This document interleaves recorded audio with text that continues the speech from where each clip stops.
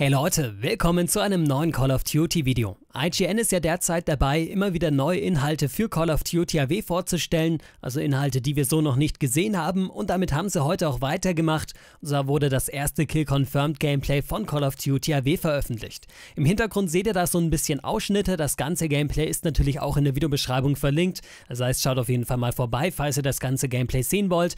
Und ja, Kill Confirmed halt, das heißt viel Neues gibt's nicht, das heißt die Regeln sind relativ gleich geblieben, was ich auch gut finde, wäre irgendwie ein bisschen komisch jetzt die die ganzen Regeln umzuschmeißen, nur um dann zu sagen, ja Leute, wir haben hier einen ganz anderen Kill-Confirmed-Modus. Im Detail sieht es so aus, dass man hier 10 Minuten lang spielt, letztendlich 65 Marken einsammeln muss, um zu gewinnen und die Punkte sind so verteilt, dass man pro Kill 50 Punkte bekommt und pro eingesammelte Marke auch 50 Punkte und da ist es dann auch ganz egal, ob man selber den Kill gemacht hat oder ob das ein Teammate war. Das heißt relativ normale Regeln, aber wie gesagt, ich finde das auch nicht verkehrt.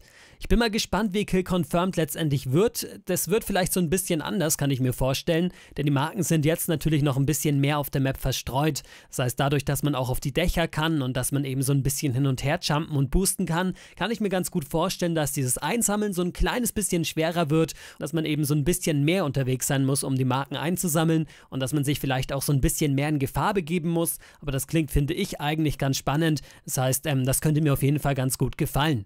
Mich würde mal interessieren, ob ihr gerne Kill Confirmed gespielt habt. Ist das ein Modus, den ihr gut findet? Denn Kill Confirmed ist natürlich an sich nichts Neues. Call of Duty hatte Kill Confirmed jetzt schon länger. Und habt ihr da gerne Kill Confirmed gespielt oder hat euch der Modus nie so wirklich gereizt? Ich persönlich muss sagen, ich habe ihn schon ganz gerne gespielt, habe aber letztendlich eigentlich zum Beispiel Team Deathmatch noch lieber gespielt oder Herrschaft. Das sind dann irgendwie Modi, die mir doch noch so ein bisschen besser gefallen.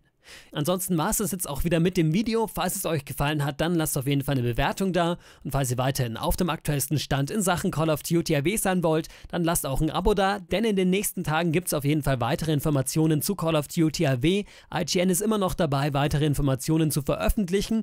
Und das Beste ist eigentlich, in diesem Monat gibt es auch noch den Koop-Modus-Reveal. Das heißt, wir bekommen in diesem Monat wahrscheinlich noch einen Trailer oder irgendwie was anderes. Vielleicht auch gleich ein ganzes Gameplay. Ich bin mal sehr gespannt. Aber da wird auf jeden Fall was kommen. Und ich muss sagen, ich bin schon sehr gespannt, was sich Sledgehammer Games da einfallen lassen hat, denn ich denke, die werden auf jeden Fall was ganz Nettes gezaubert haben. So viel jetzt dazu, macht's gut, bis zum nächsten Mal.